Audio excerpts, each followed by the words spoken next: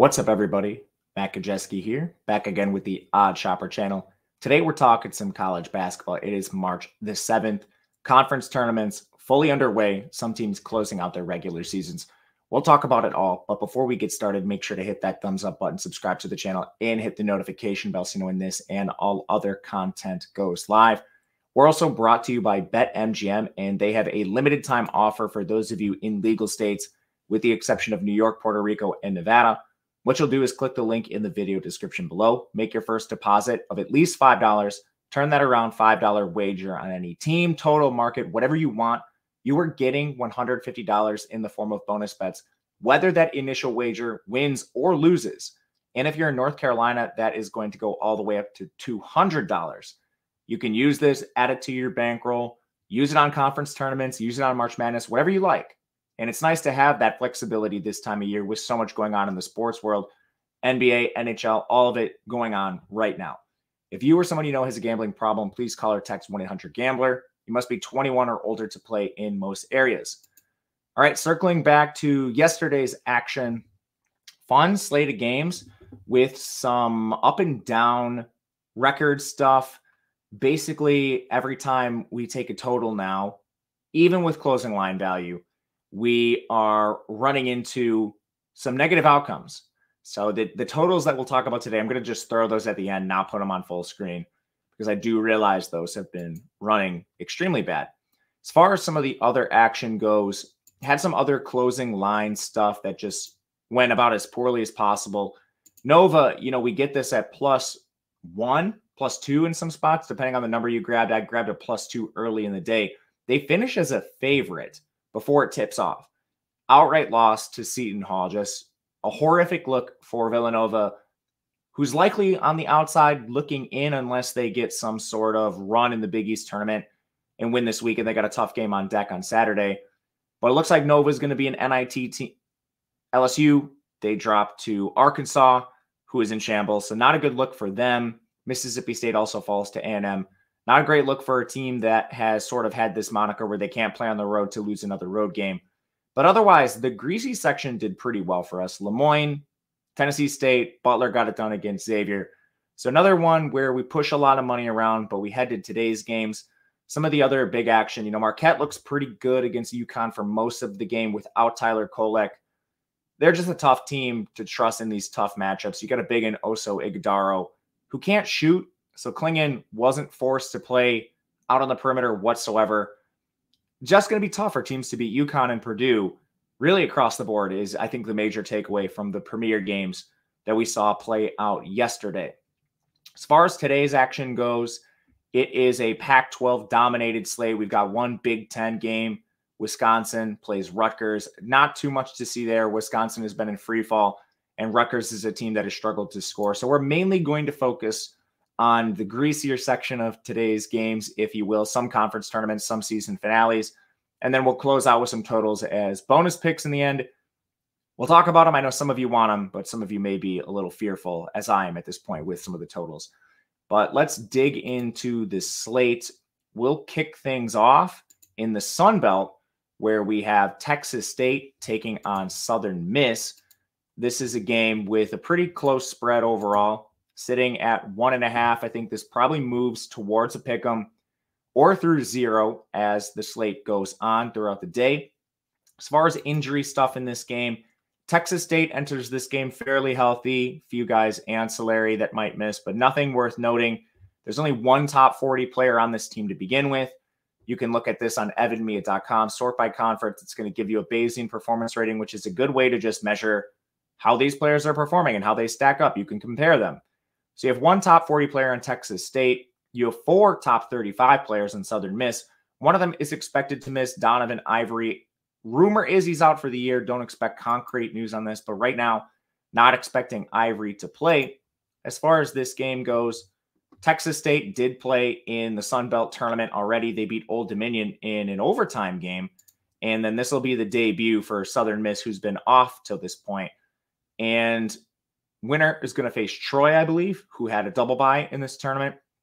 But as far as stylistics go, we already mentioned just the talent profile for Southern Miss. This is a team that has an overall better roster comparatively They hold some advantages primarily on the offensive end. They're 270th to Texas State's 306th. Texas State just built a little different. This is a team that largely wins through their defense, where they have pretty solid metrics overall, 113th. But this is a team that's sort of bolstered by turnovers. We see this at times. They're 115th in turnovers generated. When you actually dive in and look at what they do on the defensive end, they're 50th at defending the three, but they're 210th at defending the interior. Now, Southern Miss as a team does have a height advantage, 224th. So interesting to see that Texas State still comes out slightly ahead in rebounding. Some of that's just from the offensive side of things. They're 104th in offensive rebounding. We talk about this double edged sword a lot. Would you rather have a team that just makes their shots initially, or would you rather have a team that needs a couple things to go right, rebounding a missed shot, and then getting a putback that goes in? That's how Texas State plays. They're 329th in effective field goal percentage. Southern Miss is 266th. And Southern Miss, they're not a great offensive team, but they certainly hold vast edges here. Three point percentage, 168 to 315. On the inside, both teams are pretty bad, but it's 298 to 317. So you actually have pretty decent advantages on the inside. And then as far as defending, what this Texas State team does, Southern Miss is 106 at defending the interior. I mean, Southern Texas State isn't good at anything on offense, 317th on the interior, 315th from three. So it's a team that really struggles to score, and then they live on these second chance opportunities. You just have the straight up better scoring team overall in Southern Miss, and you have a team with a better overall talent profile on the roster in Southern Miss. They're coming in as an underdog in this spot. This game is played on a neutral floor, so nothing to worry about home court wise. Pretty surprised to see them as a dog. So that'll be the first play we make with Southern Miss taking on Texas State in the Sun Belt. We are going to keep it fairly greasy throughout the, the whole show today. So we move to Lafayette taking on Lehigh. This is one where you can find Lafayette as a four point underdog. Expect them to take some money throughout the day. They do hold advantages in this conference and in this matchup. Right now, we're talking Patriot League. So, not the best edition of the Patriot League either. This is a home court game. So, you have Lafayette actually playing at home, and they do have some advantages, particularly on defense. It's slight. They're 181 to 194 over Lehigh. And then on offense, you do have Lehigh with a slight advantage, 290 to 345. But neither team is dealing with many injuries. As far as talent profile goes, it does go Lehigh's way, but it's pretty close. You have four top 20 players. Lafayette has two in the top 20. And then as far as stylistics, what you really look for in a team that's playing at home with a similar talent profile is do they have advantages? Can they win this game? And how do they stop the opposing team? So Lehigh, they're a team that plays largely through the inside despite not having a tall lineup. 235th in effective height. Terrible matchup for them against Lafayette, who's 78th in effective height. Well, where does Lehigh score? Inside. 164th in two point percentage versus 298th in three point percentage. This team cannot shoot, so they try to score near the basket. Well, how is Lafayette composed? We already mentioned they're tall. They're also much better at defending the inside. They're 40th in the country in interior defense, and they're 148th from three, which isn't a terrible mark themselves. So right away, you have the strength of Lafayette's defense matching up against the strength of Lehigh's offense. How do some of these ancillary metrics look? Rebounding, neither team is any good whatsoever, but neither team attacks the glass on offense. I think this is just a product of these teams prioritize defensive rebounding. As far as the turnover battle goes, margin for these two teams is similar, and that's the same for foul margin as well. And then overall scoring, Lafayette not great, they do hold slight edges, especially from three. They're 292nd in three point percentage, so slightly ahead, but they shoot a lot of threes. So this is a team that, I mean, they have advantages on defense, which should be what carries this. But then if any of these threes go down, and again, they're 107th in three point rate, they shoot a lot of them. This should be an advantage for them against Lehigh's 300 ranked three point defense. They're not also not very good on the inside either, 170th at defending the interior. So it's a lot of points for a home team in Lafayette in a matchup that admittedly is pretty greasy. Neither of these teams has more than 12 wins, but we'll take Lafayette and we'll take the points in this game. Next up, we go to the MAC, the double MAC, MAAC. Iona taking on Manhattan.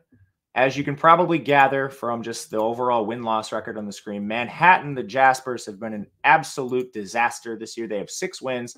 They're outside the top 330 in the three key metrics we look at offensive, defensive efficiency, and rebounding. Iona is hovering around the top 200 in at least two of those 203 in offense, 202 in defense. And the talent profile is just vastly different for these two teams. You have six players in the top 30 for Iona. One of them is injured. That's Greg Gordon. Not sure if he plays. He's the 30th ranked player in this conference. But Manhattan doesn't even have a single top 70 player. 7 0. Manhattan doesn't have a single player in the top 70 of this entire conference. Just horrifyingly bad statistics for Manhattan. They don't play with a tall lineup. They're 288th. Neither does Iona, 257th. But I mean, when you look at talent profiles that could potentially beat Iona or cover a seven point spread, Manhattan doesn't have that. Very rarely do you see teams with rebounding advantages, or very rarely do you see with Iona having rebounding advantages over teams. They're 311th. They have one in this spot. Manhattan's 331st. Both teams shoot a lot of threes. One of them's good at that. Iona, 90th in three point percentage. Manhattan, 317th. Not to mention the strength of Iona's defense is defending opposing guards. Again, they're not tall, so they do struggle inside, but Manhattan's 307th in interior scoring. Pace is pretty good in this game. So when you look at the value of a point covering a spread this large, 172nd is Iona's pace, 106 is Manhattan's. Iona should be able to get this done and cover this spread. As far as just game environment stuff, this will be a, a road game for Iona in this conference which gives me some pause. They're closing their season out, but ultimately, they're just the vastly superior team over Manhattan. So we will take the spread and lay the points here, despite them playing on the road.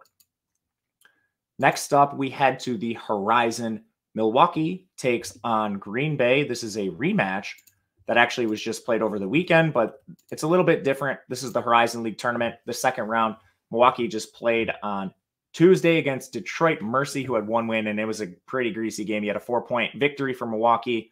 Certainly didn't cover that spread, but this is one where you can find Green Bay as a pick 'em. This is exceedingly important because it's going to move through zero. I can guarantee you that. We'll talk about why in a second. But speaking to getting the best line, OddsShopper is the place you want to be. You can click the link below. What it's going to do is allow you to customize based on your state, based on the books you use, whatever you want, highly customizable find you the best line, which makes a huge difference in your bottom line. And there's all sorts of tools involved in this. We have a market based approach you can use to find plus EV betting spots, college basketball, player props, NBA, NHL, whatever you play, whatever. We have it all. And the Discord's now included. I use this, our other experts use this. We take all of these picks, all these tools, drop the analysis in the Discord, and try to make it easy for you. It's all included in one price.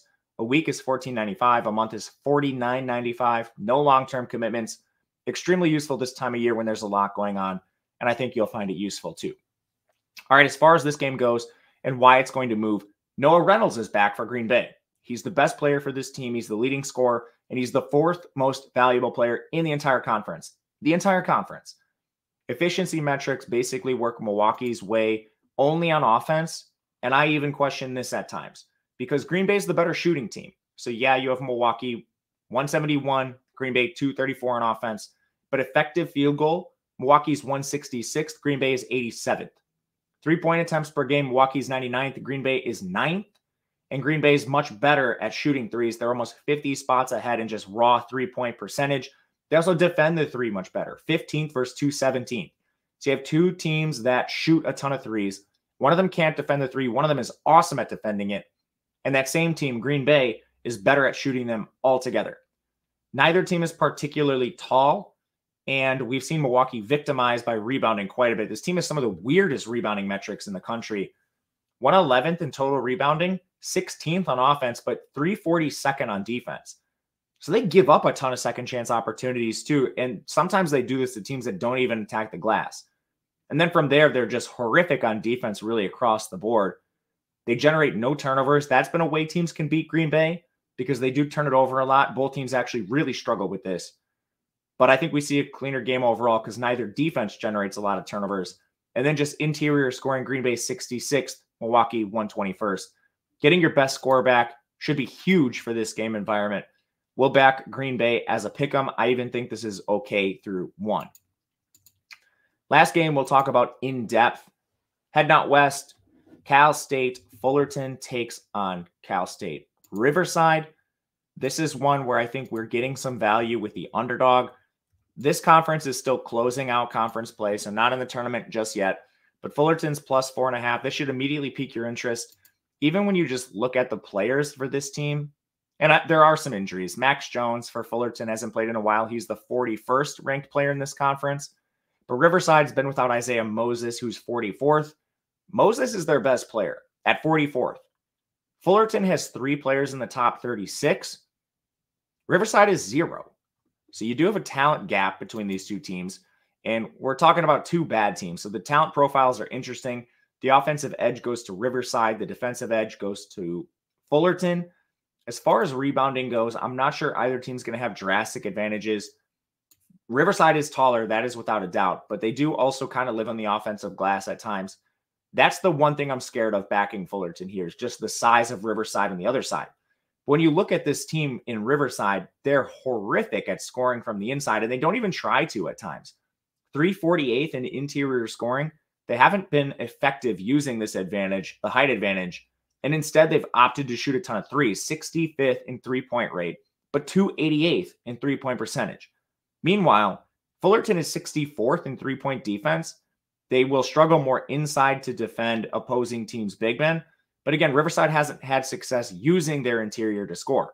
And just raw effective field goal percentage, Fullerton's 291, Riverside is 338. Very, very bad metrics there. You do have a Fullerton team that forces a ton of turnovers. They're 98. They also generate a lot of fouls, 54th there.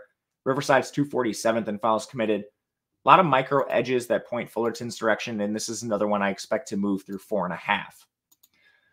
All right, let's talk these bonus picks. There's a couple. Didn't throw them on the screen because I'm as weary of these totals as you are, but I expect them both to move. And there's two overs I'm interested in. Canisius taking on Fairfield. The number's 145 and a half. Expect that to go through 146. Take it if you're not a little nervous about totals like I am. And then Grambling, Alabama A&M over 131. This is certainly going to rise. Whether it comes in is a different story. Last thing, I'm probably going to take Nicholls over Southeastern Louisiana plus four to round this out. That'll do it for us today. We'll be back on Friday talking more games. Not sure what the slate's going to look like because we're in tournaments. Saturday is another mega slate. We'll have content for that as well. And then we'll be full speed ahead for conference tournaments and March Madness. If you have a question, reach out to me on Twitter at Matt underscore Gajewski. Comments, please leave them below. It helps us a ton. Until next time, good luck, everyone. We will see you later.